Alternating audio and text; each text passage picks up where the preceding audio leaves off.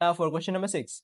A battery of EMF or electromotive force E, that is the electromotive force of the battery, or the total voltage of the battery, that is the EMF of the battery, and internal resistance R. So internal resistance is R is connected to a variable resistor of resistance R as shown in figure 6.1. So this is the variable resistor internal resistance.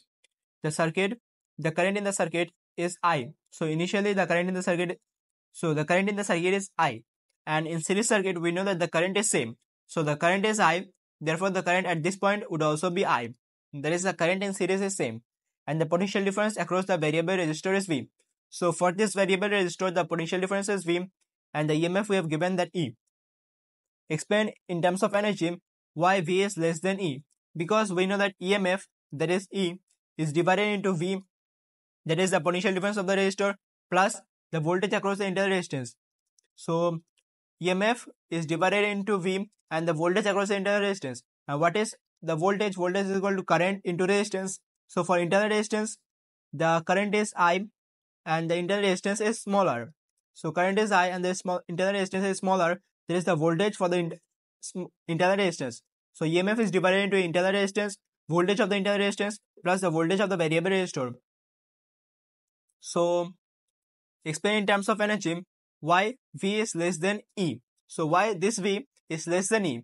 Because here we can clearly see that voltage EMF is divided into voltage plus the voltage across the internal resistance. So energy is dissipated in the internal resistance. Since energy is dissipated in the internal resistance, therefore the voltage is obviously less than the internal resistance. Voltage across the internal resistance. So here, as energy is dissipated in the internal resistance, so obviously this voltage V is less than the EMF. Therefore, V is less than the EMF. Now, state an equation relating E, I, R and V. So, we know that EMF is equal to voltage plus voltage across the internal resistance. EMF is equal to voltage, that is V, plus the voltage across the internal resistance, that is IR, that is I small r. So, EMF is equal to voltage plus voltage across the internal resistance I small r. Now the resistance of the variable resistor is varied. The variation with current of voltage as shown in figure 6.2. So voltage against current is shown. Now use figure 6.2 to explain how it may be deduced that the EMF of the battery is 2.8 volt. So how can we deduce that the EMF of the ba battery is 2.8 volt? So here we have given the variation of for resistance R, we have given the variation of voltage and the current. So this graph is for only for resistance R, that is capital R. We have given the voltage against current graph for capital resistance R or the variable resistor R. Now, explain how it may be deduced the, that the EMF of the battery is 2.8 volt.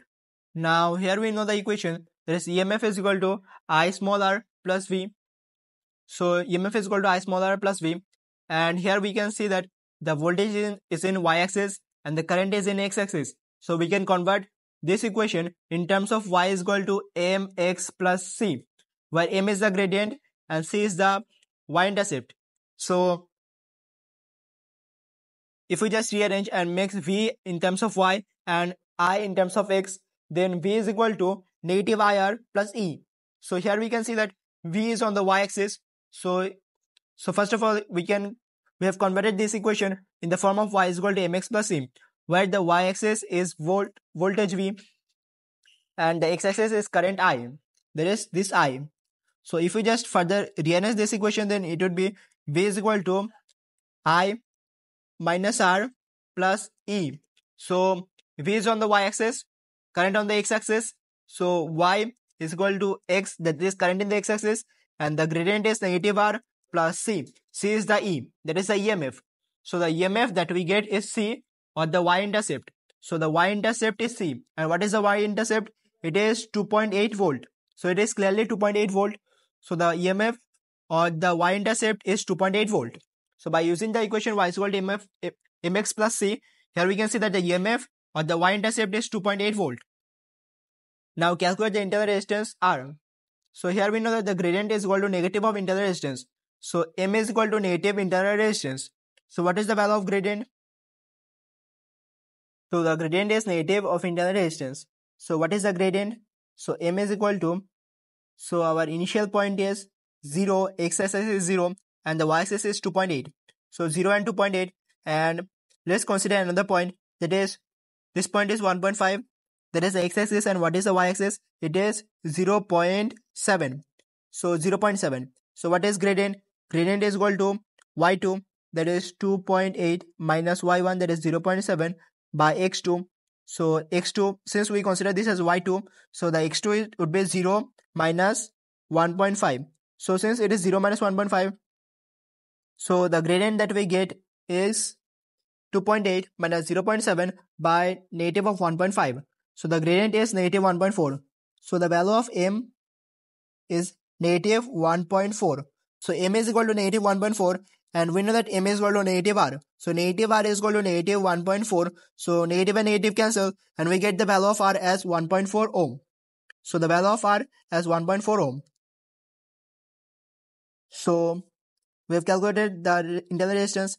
Now the battery stores 9.8 kilojoule of energy. The variable resistor is adjusted so that the V is equal to 2.1 volt. Use figure 6.2 to calculate the resistance R we need to use figure 6.2 to calculate the resistance R and this graph is for the variable resistor that is this variable resistor. Now from figure 6.2 so we have given the energy stored in the battery and we have given the value of voltage and we need to calculate the resistance. So we know that the resistance is to voltage by current. We already know the value of voltage as given. So what is current? So from this graph for voltage is equal to 2.1 so for voltage that is 2.1. So voltage that is 2.1 from the graph when voltage is equal to 2.1 we need to find the current. So the current is 0.5. So when voltage is 2.1 current is 0.5. So voltage by current we get the resistance as 4.2 ohm to do significant figure. Now calculate the number of conduction electrons moving through the battery in a time of 1 second. Calculate the number of conduction electrons moving through the battery in a time of 1 second. So we need to find the number of electrons moving through the battery. So again, this is the part of question D part 2. So we need to use figure 6.2. So from figure 6.2, we have found that when voltage is equal to 2.1 volt, the current is 0.5 ampere. So we know that current is equal to charge per unit time. So current is 0.5 so this is not the working at this point. So current is equal to charge by time. So current is 0.5 and charge. So charge per unit time. And we have given the time as 1 1 second. So we know the value of current and the time. So what is charge? Charge is the we need to find the number of electrons. So what would be the number of electrons? So charge is number of electrons that is number of electrons and the charge for one electron. And the charge for one electron is 1.6 into 10 to the power minus 19 coulomb. So the overall charge would be the number of electrons. Since basically if we consider this if we consider let's suppose that for one electron the charge is 1.6 into 10 to the power minus 19 coulomb and for n number of electrons n electrons what is the charge or what is the total charge the total charge would be 1.6 into 10 to the power minus 19 into n. So for one electron, the charge is given that is 1.6 into 10 to the power minus 19 coulomb. So for n number of electrons, what is the charge? So 1.6 into 10 to the power minus 19 into n. And here we need to find the number of electrons or the n. So the total charge that we get is n into 1.6 into 10 to the power minus 19 coulomb. So 1.6 into 10 to the power minus 19 into n where n is the total number of conduction electrons. So what is the value of n? 0.5 by 1.6. So 1.6 into 10 to the power 10 to the power minus 19. So the value of n that we get is 3.125 into 10 to the power 18.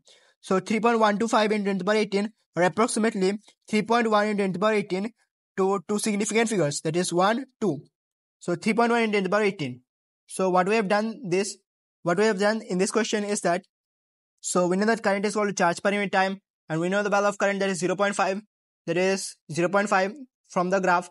So current is 0.5 and the time is 1 second. So what is the charge? So we know that for 1 electron, the charge is 1.6 into 10 to the power minus 19 coulomb. So we need to now calculate charge or what is the expression for charge. So for 1 electron, the charge is 1.6 into 10 to the power minus 19 coulomb. So we need to find the number of electrons, number of conduction electrons or n. So for n number of electrons, what is the charge? So charge is 1.6 into 10 to the power minus 19 coulomb into n. That is the overall charge for n number of electrons. So by substituting the value, we calculate the value of n as 3.1 into 10 to the power 18 to two significant figures. Now, determine the time taken for the energy of the battery to become equal to 1.6 kilojoule. So, initially the energy stored in the battery is 9.2 kilojoules. Now, we need to find the time for the energy to become 1.6 kilojoule. So, what is the difference in energy? That is 9.2 minus 1.6. And this is the difference in energy or the decreasing energy. So, this is a decreasing energy or the change in energy. And we need to find the time for this decreasing energy. So what is the value of time? So for energy, or we can say that power is equal to energy per unit time. So energy is equal to power into time. So we know that power is equal to VI. There is voltage into current into time. So we have given the change in energy. That is the initial energy and the final energy. So we know the value of change in energy. That is, if we subtract initial minus final, we get the change in energy. And change in energy is equal to voltage into current into time. So what is the voltage? So, so since we are considering the battery, so for this battery, the EMF is, or the EMF stored in the battery is, so we have calculated the value of EMF that is reduce the EMF of the battery as 2.8 volt. So the EMF of the battery is 2.8 volt. That is from the y-axis we can see that the EMF is 2.8 volt. So for this battery, since we are now considering the battery and not the resistor, so for the battery, the voltage or the EMF is 2.8 volt into current. So the current in series is always remains the same. So whether it is a resistor, so the current in series is always remains the same. So whether it is a resistor or a battery or the internal resistance, the current is always I. So the current remains the same and the current that we get for internal resistance for the resistor R that is the resistor R, there is 0.5 ampere. So 0.5 ampere is for the resistor R or for the whole battery because in series the current is same. So the current is 0.5 into time. So after calculating we get the value of time as 5.4 into by 3 seconds. There is approximately 2 two significant figures as a time for the decreasing energy. Also it is given that the EMF of the battery and the current of the battery remains constant. That means we need to use the EMF that is 2.8 and the current that is 0.5. Since these two values are constant, so we need to use these two values to calculate the time for the energy to decrease from 9.2 kilojoules to 1.6 kilojoules by the battery or for the battery. So this is the time.